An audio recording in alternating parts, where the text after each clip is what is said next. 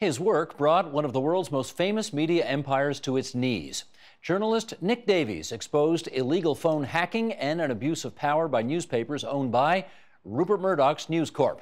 He details it all in his new book, Hack Attack The Inside Story of How the Truth Caught Up with Rupert Murdoch. He's in town as a special guest of the Canadian Journalism Foundation, and we are delighted to welcome Nick to our studios right now. It's great to meet you. Good to meet you, I Steve. just love this book, I got to tell you. Okay, I can handle that. but I don't think I work in the same business as these folks. Uh, and I'll tell you why. Because you have described a newspaper industry in the United Kingdom that is dysfunctional, vile, corrupt, unethical, run by frightening, awful people. Was it always this way? I think we've got a pretty special history in the UK with our newspapers. They are peculiarly competitive and therefore peculiarly ruthless and potentially cruel in the way that they operate. And on occasion, as we found out, that involves them breaking the rules and systematically breaking the law. It, it's a funny thing as to why the UK is so much worse than other countries. And I have this theory, which might even be true, that it's to do with geography, that we've got 60 million people in the UK crammed into this very small space. And ever since the Industrial Revolution, you've been able to put a newspaper on a train in London or Glasgow, and overnight you can reach the entire population. Yeah, you really don't have local papers there, do you? No, in the so, way so you've got here. this seethingly profitable market. Mm-hmm. And so for the newspapers who are making their main money out of selling copies, not the posh papers who make their money out of carrying advertising, they're out there and they're wrestling with each other, stabbing each other in the back to get their big share of this market. And Well, the ruthlessness flows from that. Whereas here, you've got a completely different market. You've got a smaller population scattered over a huge area. Mm-hmm. And until the electronic revolution, you put a, a newspaper on a train in Toronto and head it west at 10 o'clock in the evening, and by 5 o'clock the next morning, it's going to be in the middle of nowhere. So you've got city papers, not, not this extraordinarily competitive national market. In fact, you write if you want to understand what went wrong with British newspapers, there is a simple answer which consists of two words Kelvin Mackenzie. Okay. Who's he? So Kelvin Mackenzie was the editor of The Sun during the 1980s. And he is basically a clown with a notebook. He, he doesn't get it that there are rules or limits or boundaries. And uh, he, he, I mean, he was famous for making up stories as an editor, but also crucially, his time in power at The Sun, Murdoch's big daily paper, coincided with the biggest human interest story in the world being on his doorstep, which was Princess Diana. Mm-hmm. And she's part of the downhill slope of the worst of our newspapers that until she arrived, newspapers would treat, rightly or wrongly, they treat the royal family with a bit of deference, not, not get too close. But as a story, this fairy tale princess, where everything started to go wrong, she was irresistible. So they broke through the walls. They, they invaded everything about her life, including her sex life. And, and Kelvin Mackenzie led the way on that. And once they'd done that, once, once they'd invaded the, the private life of the princess, then everybody's private hmm. life was open to them. Well, and one of the ways in which you chronicle how it happened under the Rupert Murdoch empire mm-hmm. was, and this was astonishingly easy to do. They hacked into people's phone messages, into their mm-hmm. voicemail messages. Yeah. And you describe it in the book, and it, you know, I never would have imagined it was that easy, but it was. How did Yeah. they do it? Uh, so it's very easy. So the idea is if you leave your mobile phone at home and you think, ah, I've got to check the messages, you can dial your own phone number from a landline and then it'll ask you to put in a four digit PIN number. And most people don't change it from the factory setting. So that the journalists rapidly discovered they could call somebody else's mobile and as long as they didn't answer, they could stick in the four digit PIN and then they'd hear all the messages that had been left there. And it is a pathetically easy thing to do. I think there were school kids in the playground doing it. But this gave them such delightful, delicious access to people's private lives. Who's the they who was doing The it? they are the reporters on the tabloid newspapers. So the one that came to the forefront, which was at the heart of the scandal, was the News of the World, Rupert But they were, Murdoch were they Sunday. the only ones doing it? No, no, there, were, there was plenty of it going on across that, the tabloid end of, of Fleet Street, and a certain amount of email hacking, and a certain amount of breaking and entering, and I mean quite dodgy criminal stuff. Nobody going on thought this was particularly unethical? bribing police officers and prison officers. That was another thing they were doing. I, I think they realized it was unethical and that they ought not to be caught at it. But curiously enough, I think they got so used to dealing with it that they actually lost sight of the fact that they were breaking the law and they were in jeopardy. It's interesting you say that they realized they ought not to be caught at it, not Yeah. that they ought not to do it. oh, yeah. I mean, there, there, was a real arrogance in that, that group of newspapers that, I mean, this is, this is what actually makes the story interesting, was that they perceived themselves to be above the law, because in reality and practice, they were.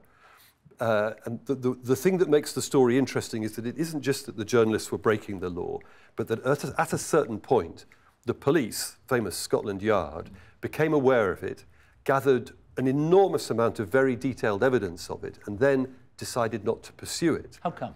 Because it's about power. So Rupert Murdoch's power in the UK is really very great. He runs four national newspapers and a national news channel. And he's always thrown his weight around in the corridors of power. He, he also has a very particular kind of power, which is to do with fear. That it's odd actually, ordinary people aren't frightened of Rupert Murdoch, it's the people in the power elite who are, because they've all seen other members of the power elite having their sex life exposed by Murdoch's newspapers, which is a painful and humiliating experience. And so they've all learned to back off and try and placate him and so I don't think anybody had to say to the police, hey, don't investigate this, it might cause you trouble. They understood that it was better not to get, to, not to get into a fight. I think the, the term you used guy. is uh, monstering.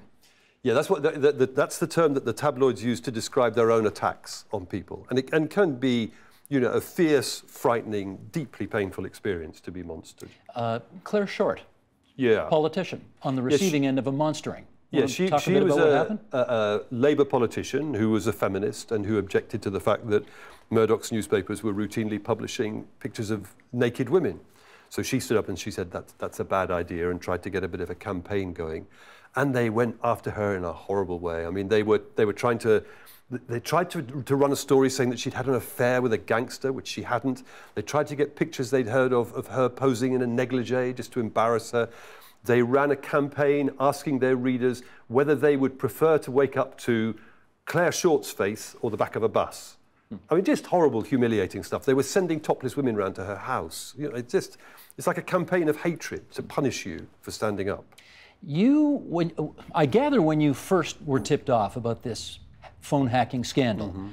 and all of the other terrible things that News of the World was doing, this Murdoch paper, you thought, okay, this is it's okay, but it's not a great story. What mm. made you pursue it? It is what we just referred to, that it very quickly becomes a story about power. And one particular thing was that the guy who'd been editing the News of the World when they were systematically breaking the law had left to become the right hand man of David Cameron, who was then the leader of the Conservative Party, but very obviously in line to become the next Prime Minister. And then this guy, Andy Coulson, the former editor of the News of the World, was going to be in charge of communicating between our government and our people.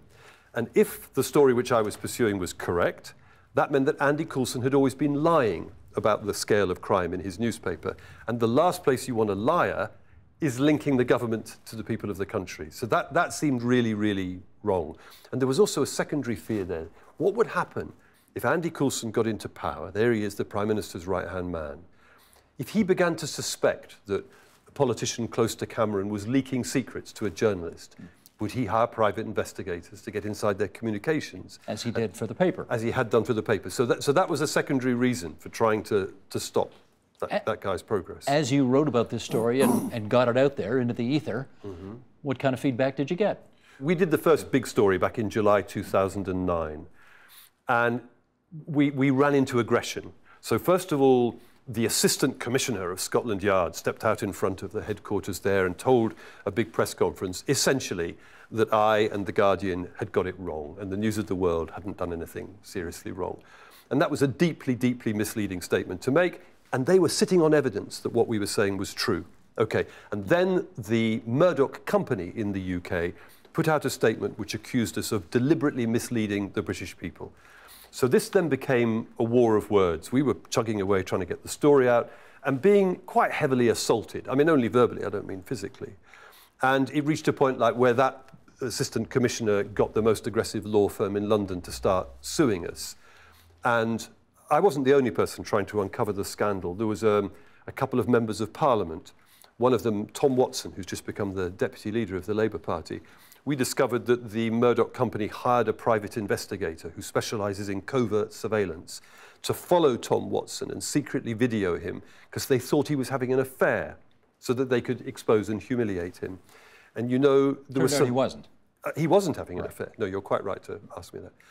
And th there were some public figures who discovered that they had been hacked and who started to sue. And this was very threatening to the Murdoch company because the court was going to order the police to disclose the evidence that they were concealing. So in the same way, they hired the same private investigator to follow the two lawyers who were, who were representing those hacking victims, to try and catch them out having sex with somebody they weren't supposed to, to discredit them and humiliate them. So there was some dirty games going on. You got called up to the House of Commons to be, what's the expression, barbecued? to be barbecued, well, yeah. What, what, what does that mean? So this was after that first story we did in July 2009 the Murdoch company used some of its political allies in the House of Commons to call me and my editor in front of a select committee. And the reason they did that was because when we published the story, we had sources, human sources who were talking to us. We had documentary sources, bits of paper, but we weren't allowed to, to quote any of them. So when they read it, being newspaper people, they thought, aha, these guys can't prove that what they're saying is true.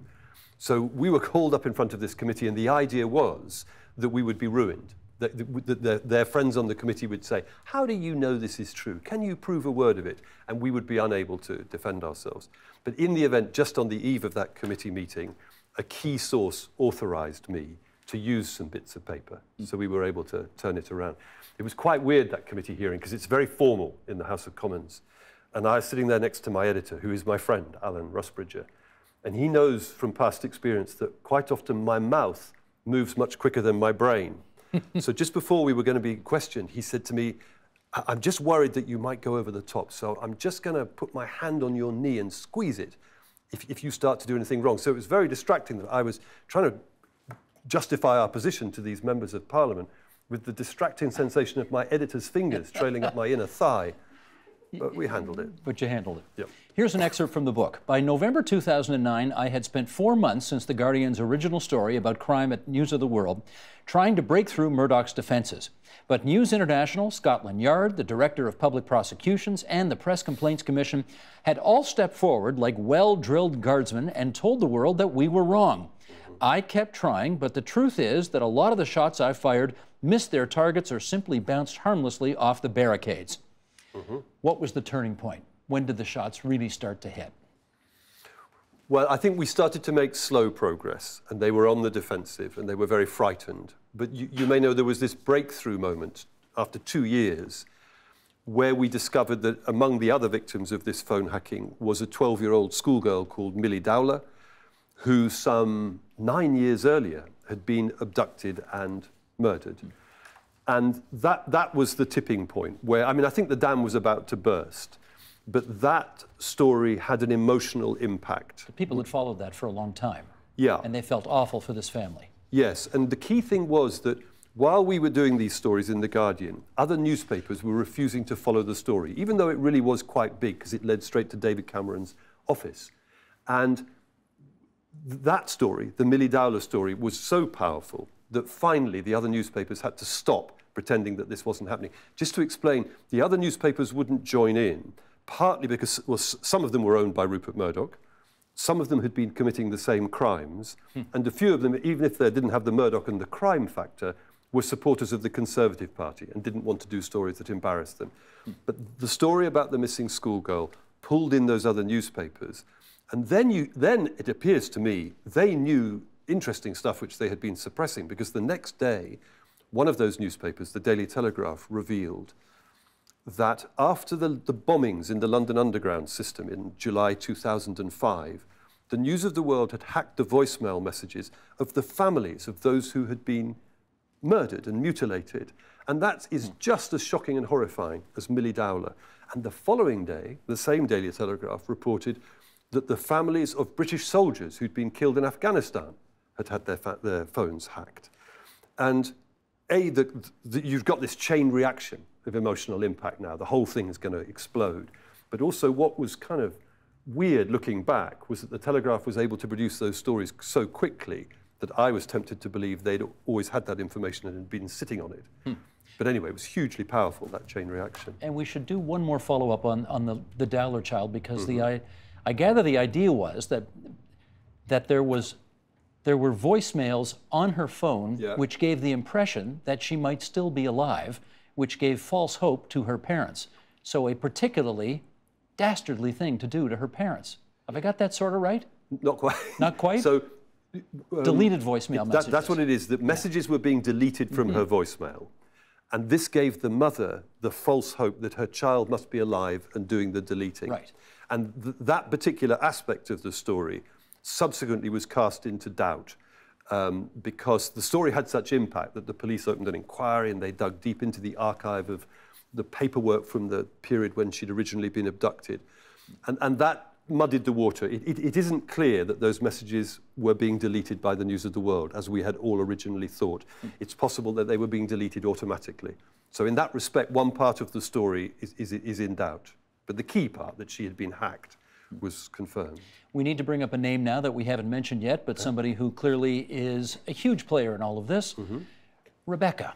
Yes. You want to talk about Rebekah Brooks and what her significance is? First of all, who is she and her significance in the whole British power stru- structure? Okay. Rebekah Brooks is an amazing character. So she rose up from the lowest level of the Murdoch company in the UK, where she was a secretary in a newsroom, up to be the editor of the News of the World, and then the editor of the daily paper The Sun, and then to be the chief executive of Murdoch's UK company, overseeing all four newspapers. She is an amazingly charismatic character. I mean, somebody who didn't like her would say she's extremely manipulative. But I mean, you know, she's a journalist, she's an operator. So she was, for example, very close friends with our Prime Minister Tony Blair and with his greatest political rival, Gordon Brown, who took over from him, and with Gordon Brown's greatest political rival, David Cameron. And it takes a certain kind of brilliance to be able to do that. So, as these stories broke, Rebekah Brooks was arrested and marched out of the building uh, at, the, at the time when she was chief executive. She was put on trial at the Old Bailey, charged with organising voicemail hacking and with organising the bribing of public officials and with destroying evidence.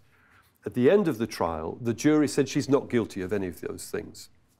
And she went quiet for a year or two, and now, just very recently, Murdoch has reappointed her to the job she had as chief executive of his UK company before everything fell apart. So th- that's quite a turnaround of events. I think it's important to say that she's entitled to her verdicts of not guilty.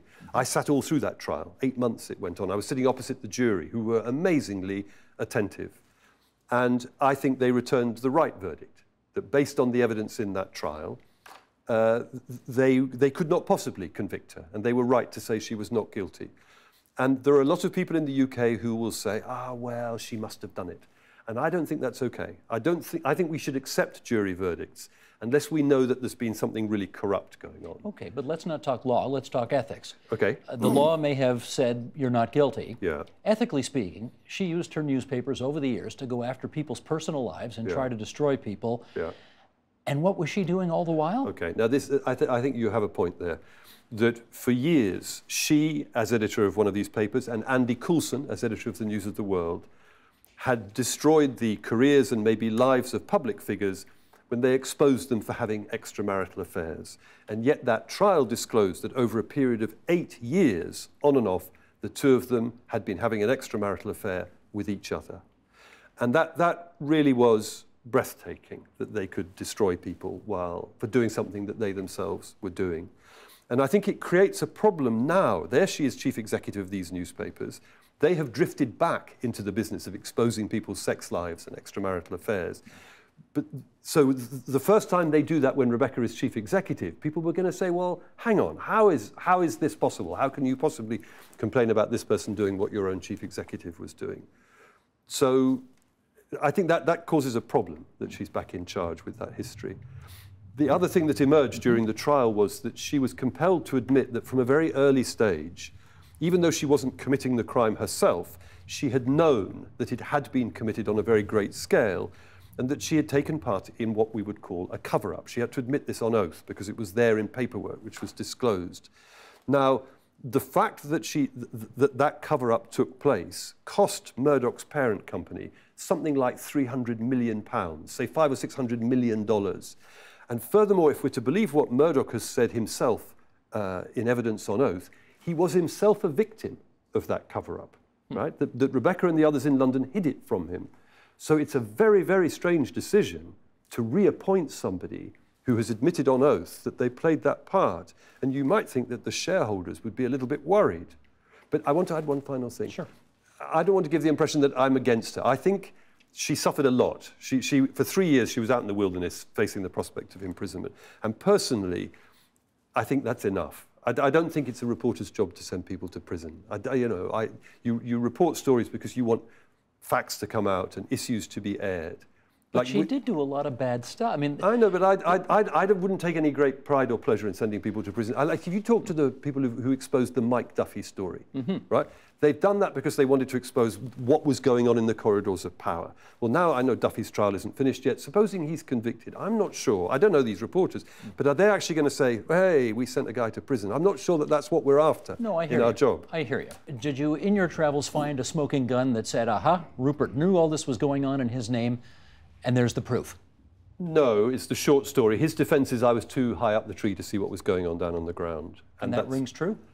It's very often the case. I mean, if you go back to the Mike Duffy saga, that's what your prime minister is saying, mm-hmm. isn't it? So, and, and then if you're the reporter on the outside, you can have a view, but, but a view isn't enough. You need evidence, and that's, that's quite a difficult wall to break through. The, uh, well, let me say just one thing about Murdoch. Sure. I think he understood in principle what his reporters were up to. You know, he, he, and his lawyers started handing over a lot of information to the police in London, as a result of which a lot of his reporters got arrested. They were therefore pretty fed up with him. He came over to London, there was a meeting, and because they're tabloid reporters, they secretly tape recorded him talking to them. And in the course of that, he said, What's wrong with bribing police officers? I mean, it's always gone on. So there he is, tape recorded, hmm. acknowledging mm. that in principle at least he understood that it was going on. And I think certainly at that level, he, he can't get out of it. I mean, he said it on tape. But I, I, as to the precise detail of what was going on day by day, week by week, he probably didn't know. He's too far away. His decision to make all this go away was mm. to shut down News of the World. Yeah. He closed down a newspaper that had been around for a very, very long time. Yeah. Was that, do you think that was his best option?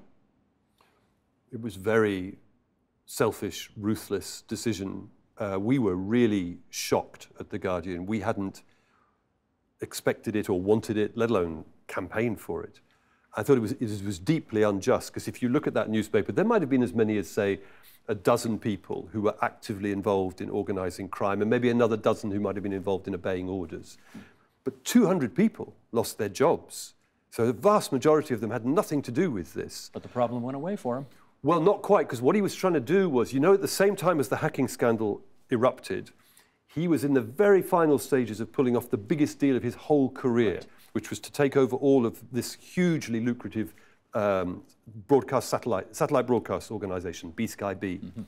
And he could see that the hacking scandal was beginning to infect his chances of getting that deal through with the government regulator.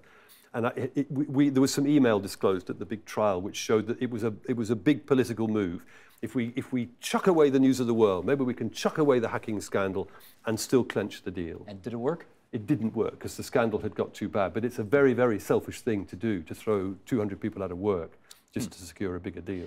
Uh, eventually, the British government got involved. They appointed Judge Leveson to mm-hmm. hold an inquiry. Uh, was that worth doing, that inquiry? Anything yeah, good come of I thought it's, it's a weird thing being a reporter. You know, you put information into the public domain and then you can't predict or control what happens. So a newspaper closing like that is, is a bad result. But I thought the, the Leveson inquiry was wonderful. The actual inquiry that day by day, week after week, we were allowed to see into the corridors of power.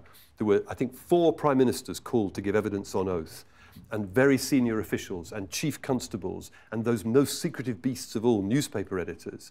And, and they were told, you sit there, we're all going to watch, you're on oath, here are some text messages that we've, you've been ordered to disclose, here's some. Now you tell us the way it really works. I know that was brilliant, to be allowed to see what really goes on in the world of power. And he produced a good report, a, a very sensible, subtle way of trying to help newspapers to regulate themselves, to stick to the code of conduct. But of course, there are certain newspapers who would give their eye teeth not to have to obey their own code of conduct. So they've kicked it into touch. But uh, kicked it into touch. That's one of those British expressions, I guess? Yeah, that means kicking the ball off the field. Out of bounds. I got it. I got it. But it did reveal that there was a far too close relationship between politicians and media. Yep. That that all politicians were terrified of going after Murdoch. Even Labour politicians, Ed Miliband wouldn't go after him, right? Even he was afraid that the thing would. Yeah. At the last moment when the scandal erupted, right. Miliband did, did stand up and challenged his power. Is that, and, and Murdoch never forgave him for it. Well, is that is that where we're at now in British politics, where there's uh, yeah. politicians are still terrified of this guy and yeah, he gets away with everything? Yes. So we had a general election in the UK in May of this year, mm-hmm. and in during the campaign, the Murdoch newspapers and others joined in what was essentially a political project to smear the Labour Party and its leadership in order to persuade their readers not to vote in a Labour government. And you know that that's not really journalism as it's understood because but it worked. Yeah, it did. And you know, you'll know that the Labour Party has now elected a new leader who's very left wing, Jeremy mm. Corbyn, and he's being monstered from all sides. I mean, they started off by getting inside his sex life and saying that years ago he'd had an affair as his first marriage was ending. And they did a whole thing about behind the Iron Curtain, the Reds are in bed with whoever.